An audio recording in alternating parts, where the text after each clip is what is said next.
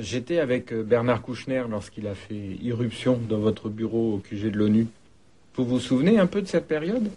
Ben, de- tout de même, on est au, mois de mai à ce moment-là. Euh, j'ai euh, presque six semaines de travail où le, le, le- les tueries continuent. On essaye d'aider des, des gens à traverser. On en protège au-dessus de 30 000. Euh, et on continue à chercher des gens pour les sortir. Une négociation de paix. Nations Unies qui ont enlevé toutes mes troupes presque pour euh, avec dans l'idée que oui, ce- ces massacres-là vont terminer, puis après ça on reviendra, mais seulement pour que je leur prouve que les massacres ne terminent pas, ils continuent à s'amplifier. Et donc, finalement, les convaincre de, de m'envoyer une force. Euh, et il, euh, le 17 mai, donc tout autour de votre arrivée, euh, je reçois le mandat que oui, je vais avoir 5000 soldats. Alors, le fait qu'il était français, euh, au départ, vous vous êtes méfié un petit peu ou vous avez... Oh, totalement. Totalement.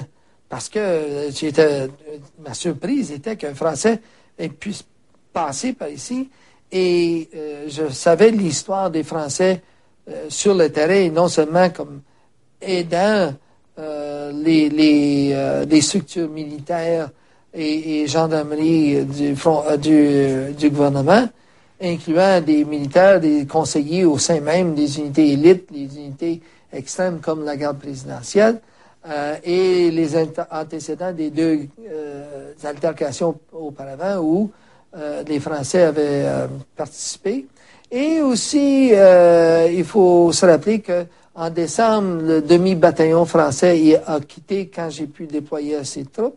Et euh, leur attitude envers nous a été euh, une attitude très froide. On a échangé très peu d'informations. Euh, ils étaient euh, pas particulièrement euh, advenants. Euh, et euh, d'ailleurs, euh, euh, ça m'a laissé un mauvais goût. Si ça vous va, il est comme un peu comme hier. Ouais. Alors je m'assois. Pardon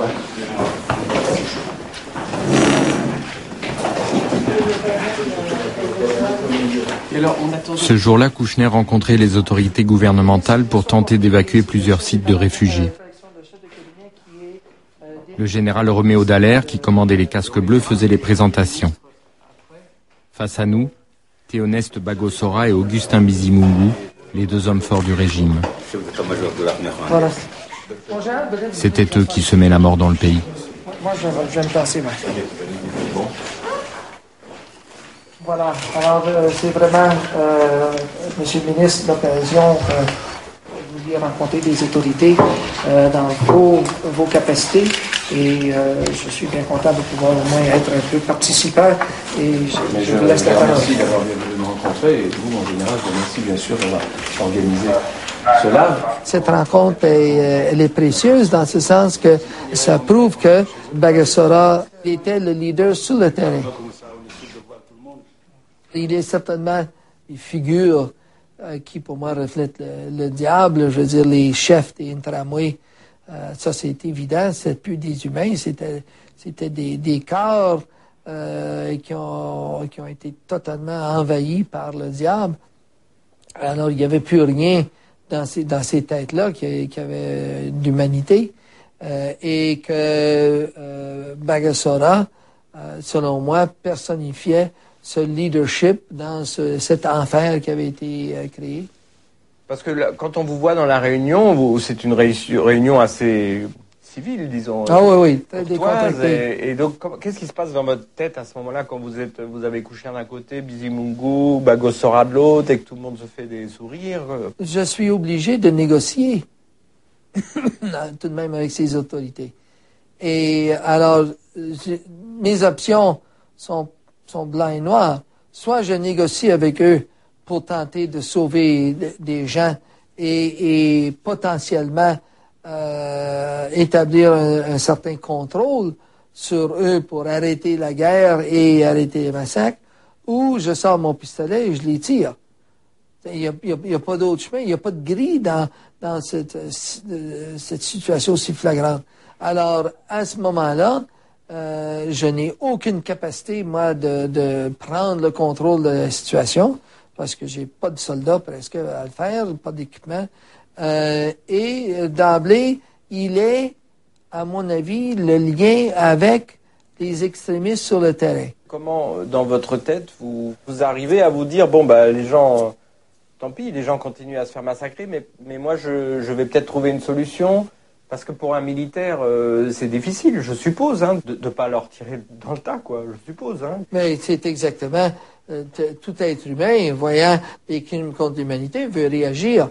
Moi, dans mon, rôle aussi représentant de, la mission, parce que je suis devenu chef de mission car euh, mon supérieur civil a été, euh, en tout cas, il est parti. Alors là, j'avais, moi, une responsabilité, ce que je constate considérais encore un peu conscience. C'est que je les voyais faire, je le rapportais grâce aux médias et je m'assurais qu'il n'y aurait pas l'excuse de la communauté internationale de dire oh, on ne savait pas ce qui se passait. Et dans ce contexte-là, je trouvais que c'était un rôle absolument valable. Il fallait que je gêne la communauté internationale à agir. Et s'il n'allait pas agir, ben, il y aurait assez de matériel là pour que ça reste sur la conscience.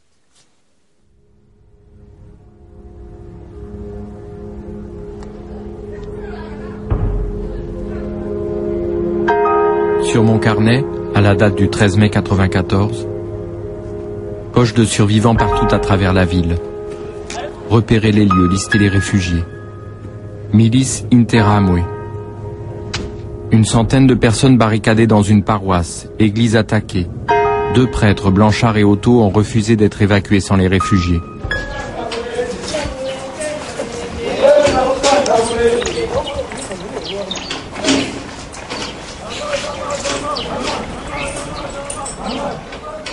C'était la paroisse du Père Blanchard, le jour où j'ai emprunté pour la première fois le couloir, là où se terrait Mathilde. Les casques bleus avaient classé le quartier en zone rouge, la zone de danger maximale.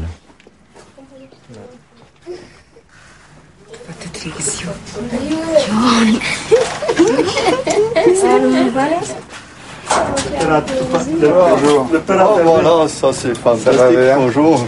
Michel Bonneau, collaborateur de Bernard Kouchner. Ah, c'est bien, Kouchner a bien parlé à la radio. Sauf hier, ils ont encore tué à la barrière. Oui, ils ont tué à oh, oui, oui. Oui C'est des voyous, non Vous avez donné aux voyous des armes et des grenades. Alors, le résultat La gendarmerie ne donne pas les armes aux voyous. Ma foi, vous savez, vous avez des étoiles. à la barrière, il s'est passé quelque chose hier Ah oui, c'est dégueulasse.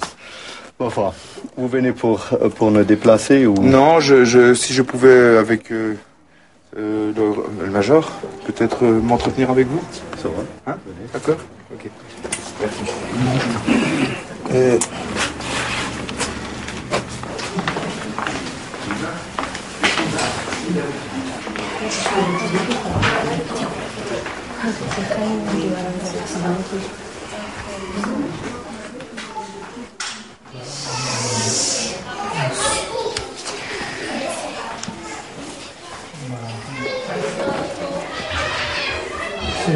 머리가 피해야 Il y avait ce jour-là à la paroisse tous ceux qui auraient pu faire quelque chose pour que cesse l'horreur. Les casques bleus de l'ONU, un colonel rwandais, Michel Bonneau, représentant de Bernard Kouchner, les deux prêtres occidentaux et moi, l'envoyé spécial de la presse internationale qui filme.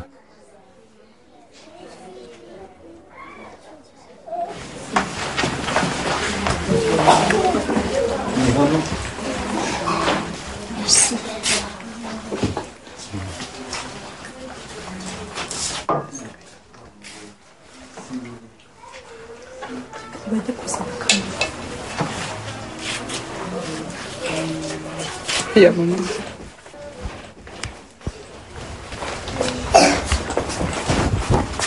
Mieux pas.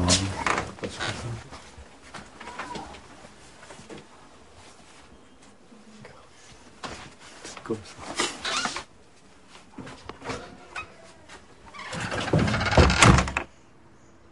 C'est terrible. Il y a eu des tués ici, vous le voyez.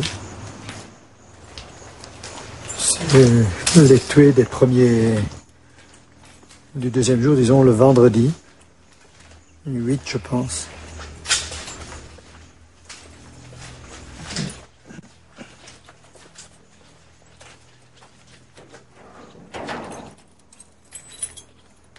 Après quelques instants d'hésitation, Blanchard avait accepté de témoigner dans l'église, où les réfugiés avaient été attaqués une première fois quelques jours plus tôt.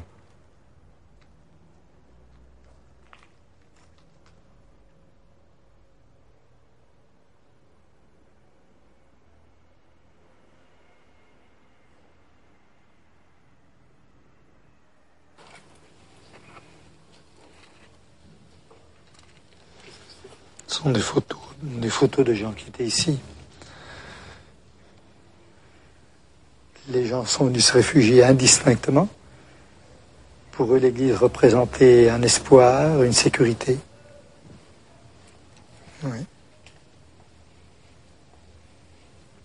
J'ai vu des gens tués tantôt par balle, tantôt par coup de couteau, tantôt par euh, coup de gourdin. C'était insoutenable.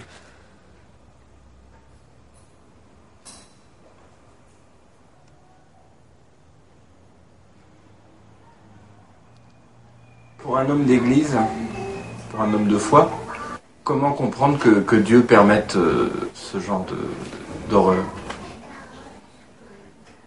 Eh bien, c'est quelque chose, c'est une interrogation qui est terrible pour nous aussi. Et c'est une interrogation qui, avec, euh, que je pose moi-même à nos chrétiens parfois, et tout prêtre que je suis, ce sont parfois eux qui me remontent le moral et qui me disent non quand même, là tu exagères, Dieu ne peut pas me permettre ça. Ce sont les hommes qui sont infidèles. Et vous voyez que moi-même je pose, parfois je suis tenté de poser la question à Dieu. Comment est-ce possible?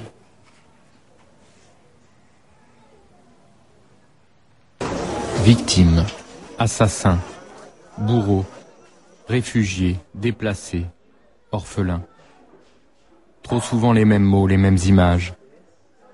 J'ai souvent eu l'impression de filmer et de refilmer le même reportage, que seul le pays, la couleur de la peau changeait, jusqu'au Rwanda. Une chose est de filmer pour dénoncer, mais lorsque dénoncer ne suffit pas à changer les choses, ne reste plus que le spectacle de l'humanité malade. C'est sans doute là que commence le voyeurisme.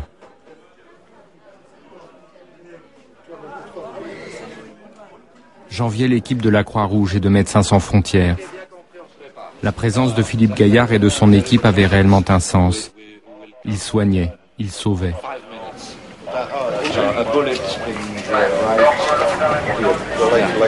Lorsque le Premier ministre Jean Gambanda, vers, je pense vers la, fin avril, après 15, 15 jours, 3 semaines de, de génocide, me convoque en présence du préfet de Kigali, M. Tarsis Renzao.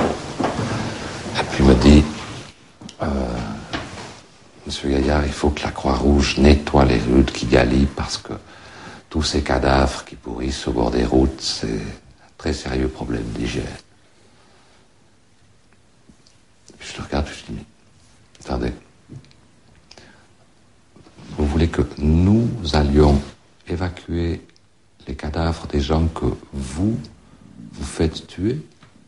Je dis non, ça, monsieur le Premier ministre, je suis désolé, ça je fais pas. Là j'ai un problème éthique, je fais pas. Et puis c'est à ce moment-là qu'il me, me, dit, ce qu'on pourrait faire, c'est euh, mobiliser les prisonniers de la prison centrale de Kigali, habillés en rose, les prisonniers euh, on a des camions, la préfecture a des camions, et puis on pourrait faire évacuer les, ramasser les cadavres par les prisonniers. Euh, le problème, monsieur c'est qu'on n'a pas de benzine. Je dis, monsieur le Premier ministre, aucun problème, je vous donne un coup de main. Je vous offre la benzine. Passez avec vos camions à la délégation, vous faites les plans nécessaires, etc. On a fait ça. On a fait ça. Ils ont mis, ils ont fait ça en un temps record. Je pense que ça a été quelques jours pour ramasser les cadavres. Euh, une fois l'opération terminée, je demande au, au préfet Renzao combien est-ce qu'ils en ont ramassé de ces cadavres. Puis il me répond, je ne peux pas vous dire. Et puis quelques jours plus tard, j'ai vu le vice-préfet, j'ai oublié son nom.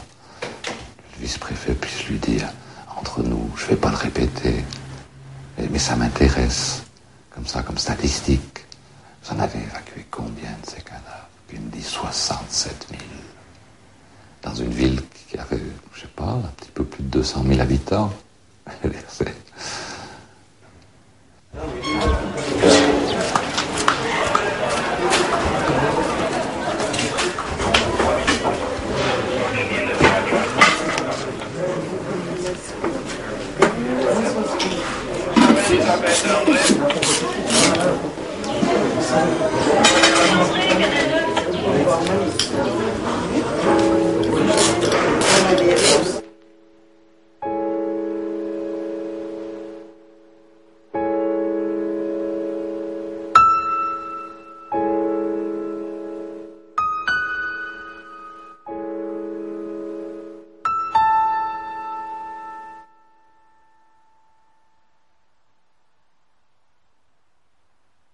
Je ne sais pas comment ce que j'ai fait, je ne sais pas comment ce qu'on a fait euh, pour, euh, pour tenir le coup du 6 avril au 6 juillet 94.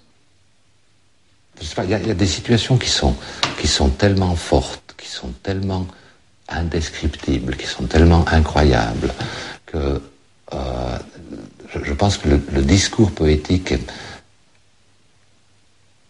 est mieux à même de le, transcrire que le discours rationnel, si tu veux, parce qu'on est, on, est quelque part au-delà de, l'imaginable. Tu es un million de personnes en, en moins de trois mois et sans chambre à gaz simplement avec des machettes et des tournevis. Pourquoi tu, parles de poésie? Tu, n'arrives pas à le dire autrement ou? Euh, Attends, je vais t'expliquer. Oui, explique-toi là-dessus. Je vais t'expliquer. Il n'y a aucune dimension poétique dans ce, dans ce qu'on a vécu là-bas. Je veux dire, euh, ce qu'on a vécu là-bas, c'est la négation même de la poésie, c'est la négation même de la beauté un génocide. C'est. Du non-sens. Alors, alors qu'un poème, c'est un surplus de sens. Donc, si tu veux, c'était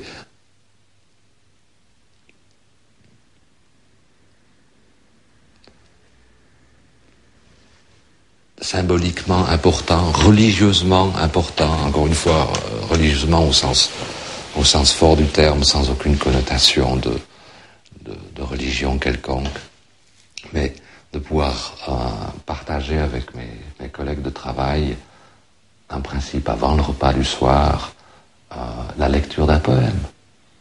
Et c'était pas particulièrement des, mes collègues étaient pas particulièrement des gens, des gens avec une sensibilité littéraire fine, quoi. Mais dans un tel contexte, ça prenait une telle force.